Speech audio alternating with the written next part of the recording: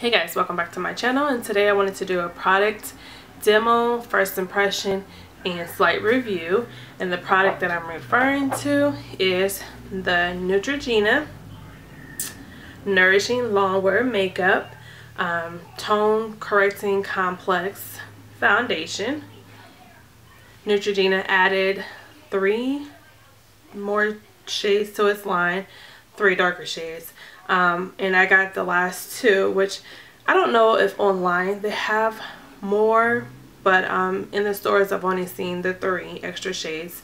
Um, the one I got is in 115 Cocoa or Cocoa and 135 Chestnuts. I don't know if there's any shades in between 115 and 135 I assume that there is but anyways I've been wanting to try these this line specifically, the long wear, for a long time, but they didn't have any colors remotely in my range.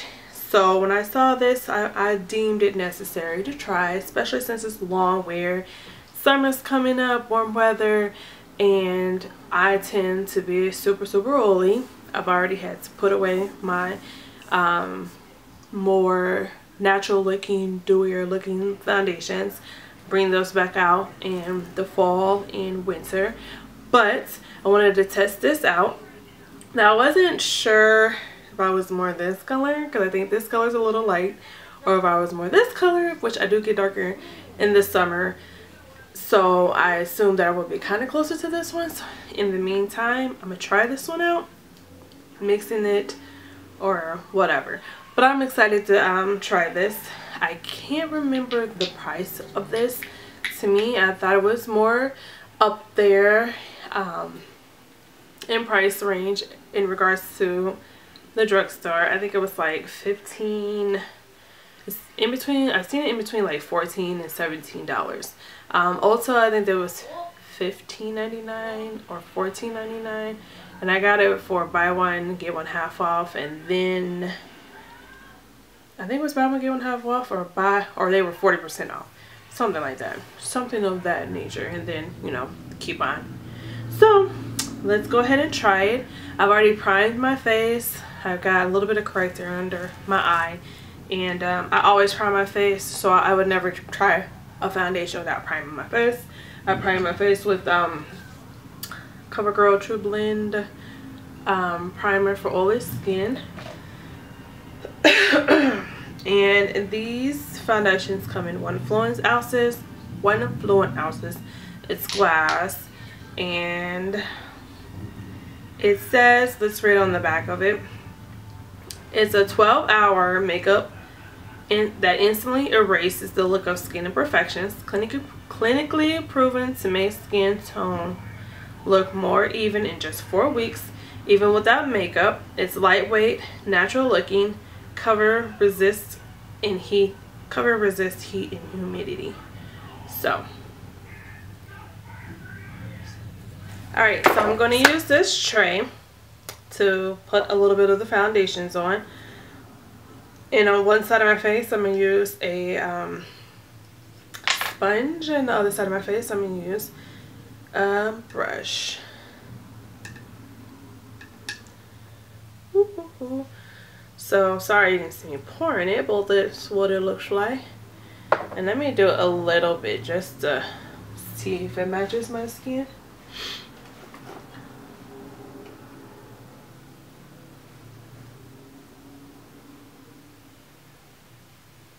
Um, it's slightly light. No, it doesn't really have a fragrance fragrance. It's got like a slightly clean smell to it. So this is the 135 which is the darker one which is the darkest one in the line.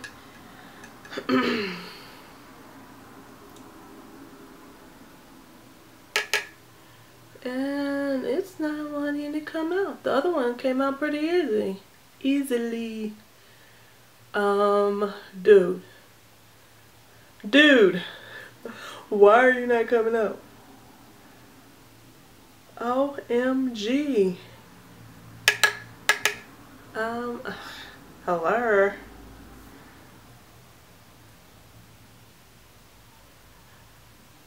I ain't really shaking this thing and it's not coming out. What, they make the darkest one thicker?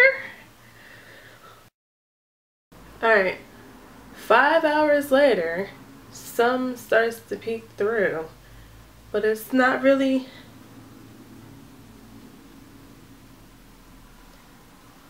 it's thicker than the other one. Um,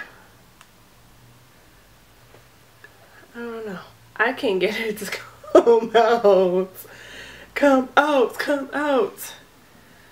All right, let me put the top back on and shake it.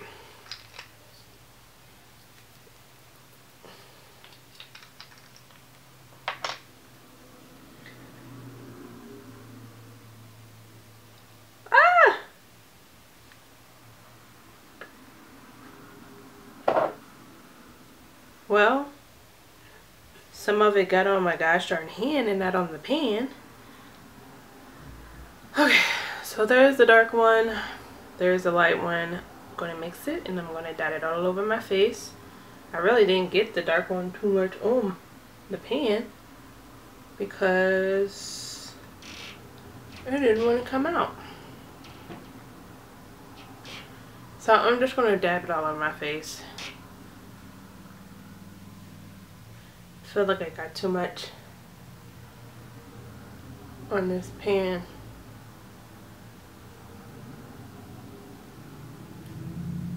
But we're going to put it all on my face. As you can see, the light one poured out rather easily and the darker one took forever to pour out. And I put too much on this pan with the light one because it poured out too much. And not a, not enough of the darker color because it didn't pour out enough. And of course these don't have they don't have pumps.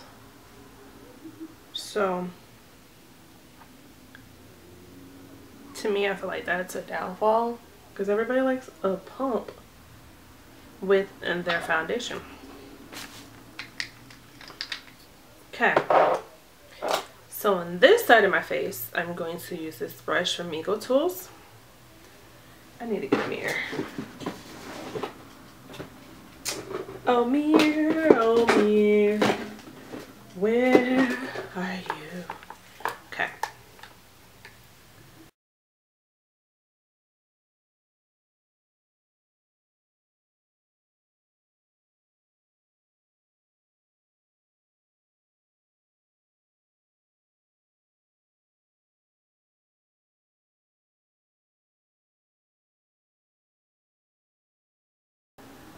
So, so far, the color isn't terribly bad with the mixed.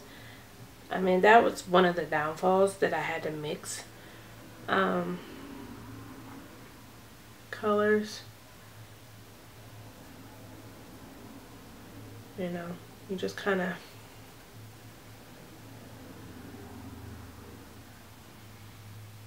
would like to go to a store and find your right color without having to buy two. So that blended out pretty well. And it's not like um it's not a matte finish, it looks more like skin light. Alright, now let's do the other side, which I'm going to use my handy dandy Real Techniques blender. Sponge. Spraying it. Let's see. This side, oh, Jesus, sorry.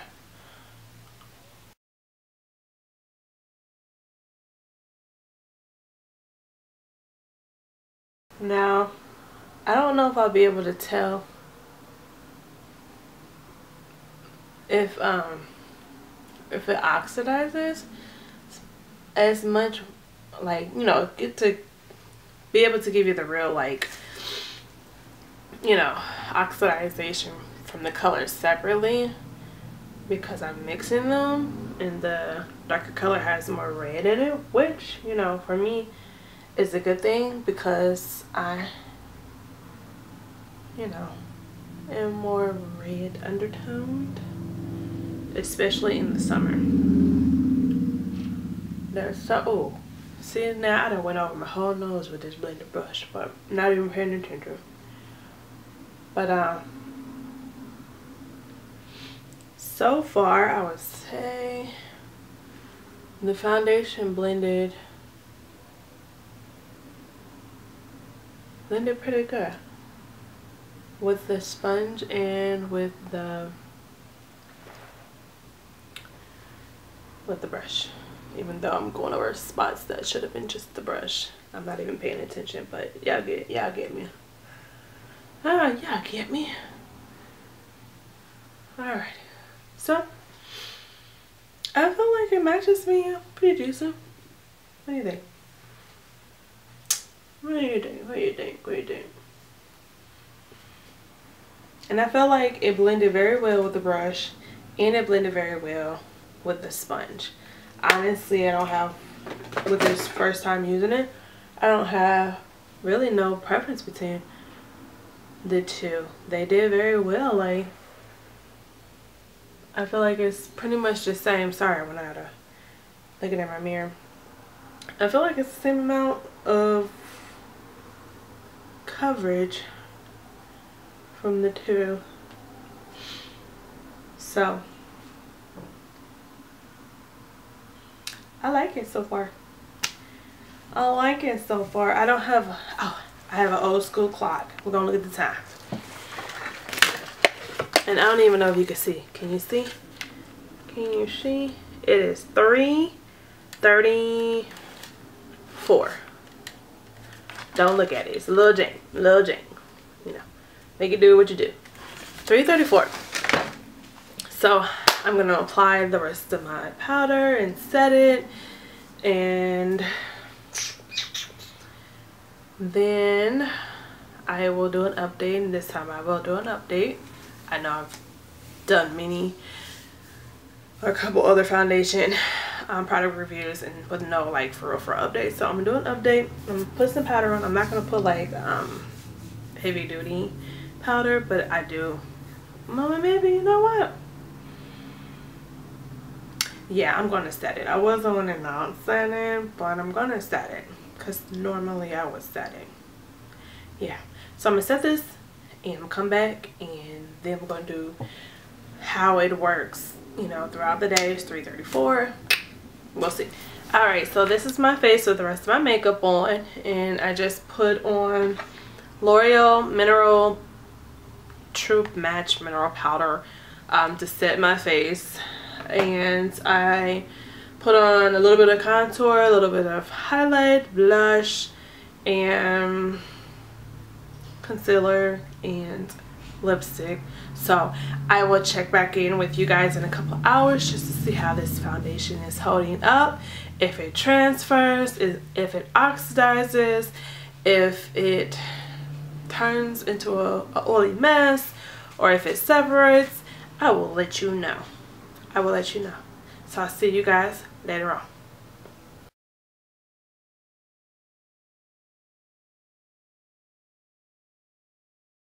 Alright, so I am back with my final thoughts on this Neutrogena Longwear Foundation. So, um, just to give some clarification, because in the beginning I wasn't sure about the new shades or how many new shades were provided, but this along with the two other foundation lines that they have in their line, they've added three new shades. So there is one below this, which is, or above it, honey, which is lighter than this. And then there's one a little darker than this, which is chestnut. This is cocoa. I did have chestnut along with this.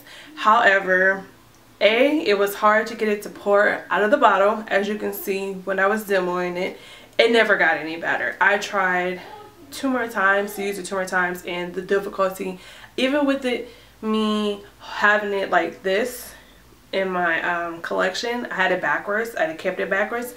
I still couldn't get it to pour out of the bottle good or fast or just the consistency was so much different from this one. And then the price range online, um, Neutrogena's web website, it is $14.99. Um, there's eight shades total and it's said to improve the tone of your skin after a while.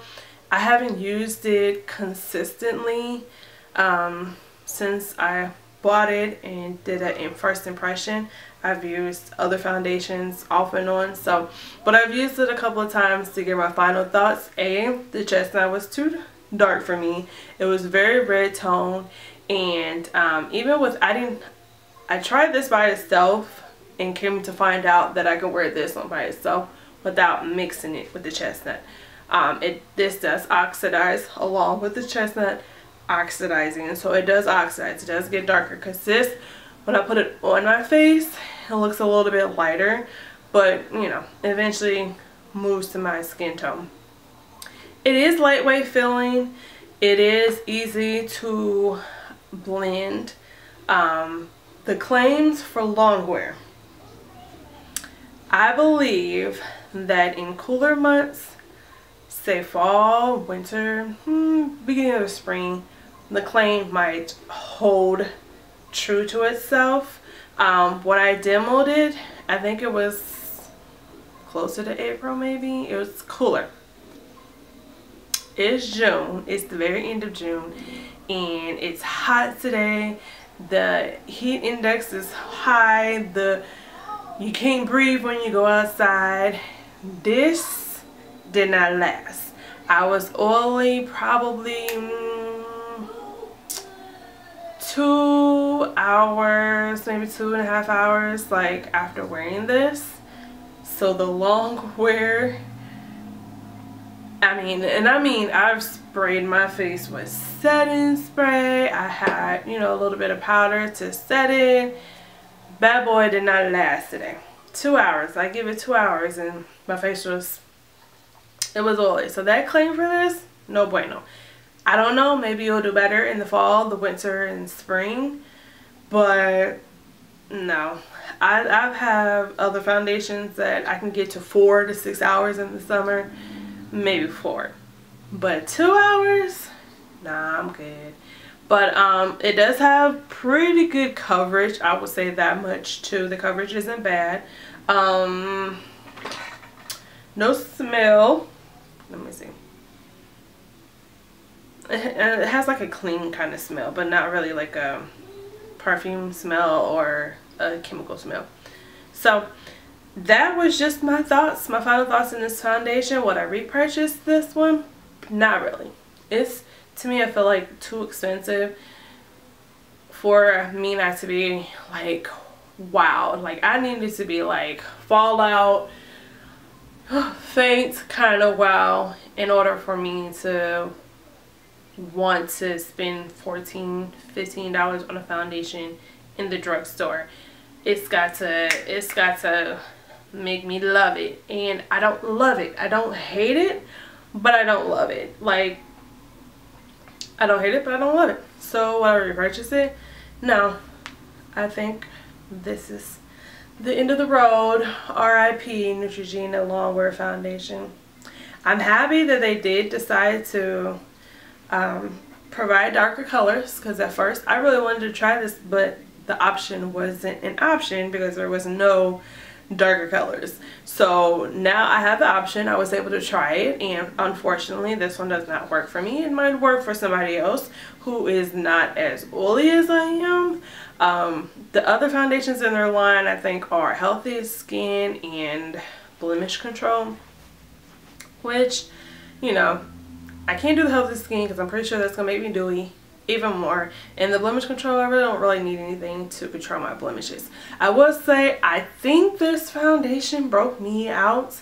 Um, I wore it, not including this time specifically, but I wore it um, two other times and I broke out like right here. So, and it does have SPF of 20 in it and I don't I think I kind of saw in some places that Neutrogena is not cruelty free and that they test on animals, but don't hold me to that. If it's true, um, I'm going to pop it in somewhere, but besides that 12 hour claim, Phil. so again, this is my final thoughts on this foundation. If you want to try it, go ahead and do it. I say, you know, it doesn't hurt to try something for yourself because everybody's skin is different. Mine is just totally oily and totally oily er in the summer.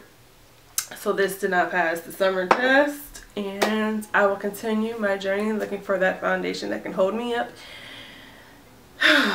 in the summer. So I will see you guys in the next one. Bye.